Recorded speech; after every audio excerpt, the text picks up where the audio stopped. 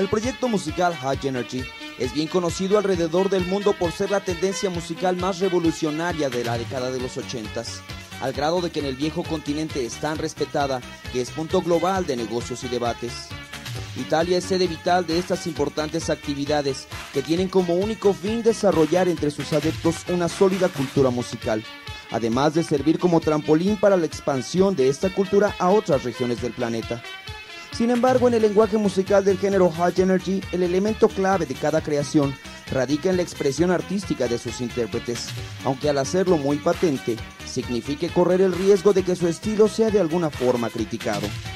Como principal herramienta para la experimentación, el descubrimiento y la participación activa dentro de este ambiente musical, los productores italianos dan oportunidad a decenas de talentosos vocalistas de acceder a modernas y novedosas formas de presentar esta música aplicándoles a todos y cada uno de ellos un estilo único que los distinguirá y caracterizará al paso del tiempo.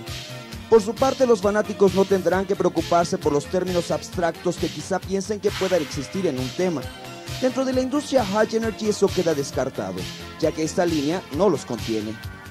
Con esto y desde 1984, año de lanzamiento al mercado de este sencillo titulado Right by the Moon, se pretendió asegurar una especie de patrimonio musical a las futuras generaciones, razón por la cual hasta nuestros días el género es respetado. Asimismo, la música High Energy es primero que nada un sistema en el que muchas personas participan en su elaboración. Colaboran músicos y productores que desarrollan las ideas necesarias a cada creación y de manera indirecta se responsabilizan de regenerar los agigantados pasos que da la tecnología siempre de una manera creativa e interactiva con el medio. No hay que olvidar el título, Right by the Moon, así como el nombre del evolutivo intérprete. Él es Kay Barrett.